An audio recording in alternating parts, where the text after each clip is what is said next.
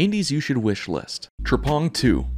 Or is it squared? If you ever played Fear and wanted more weird but also badass gunfights in destructible environments, consider wishlisting Trepang 2. This FPS is all about mowing down legions of enemies while looking and feeling totally badass in the process. Featuring a wide range of mobility options, weapon choices, and supernatural powers to use, Trepang 2 is bound to be a hit with FPS fans. Be sure to keep an eye out for this one when it releases sometime in 2022.